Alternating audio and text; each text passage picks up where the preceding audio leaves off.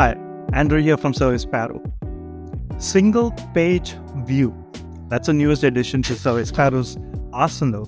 Let me show you what, what I'm talking about. So here, when you open up your screen, you are greeted with the home page.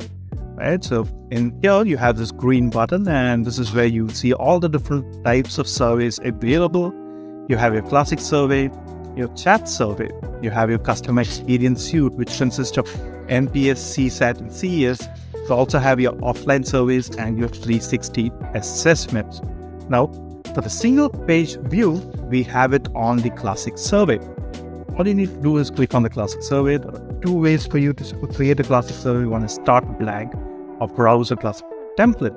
For this demonstration, let me actually click on start blank. Now, when I'm starting blank, it opens up a builder where I have to set the title for the survey. In this case, let's uh, name it single page view itself. And I'm going to be putting it up in my surveys as a folder. There are different folders here as well. And then I go ahead and click on create the survey. Now, first thing that I would do while creating a survey is that I would always start off with a welcome page and I'll also end with a particular thank you page as well, because ideally you want to give your participants a context on what the survey is all about. Plus, you also want to thank your respondents for the time that they spent and the effort that they took to do the survey.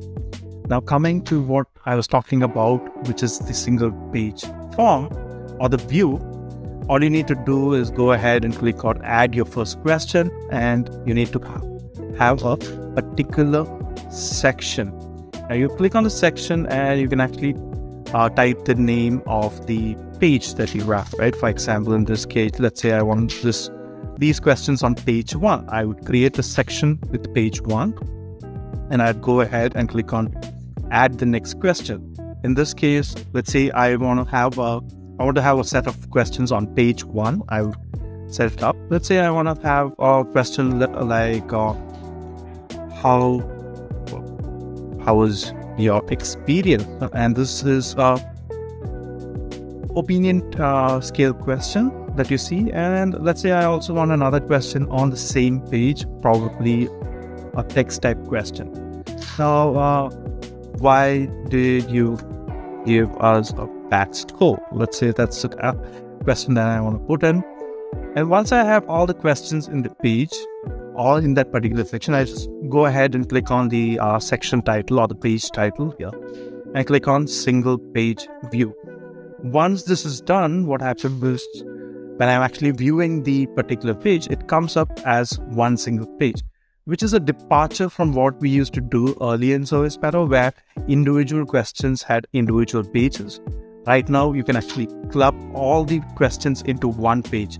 You can have multiple pages. So if you have 10 different questions and you want to have it in two different pages, you can club five in one page and the second, uh, the rest of the five in another page, making it kind of like a individual single page view that you have, right? So that is uh, all that you need to know about single page view.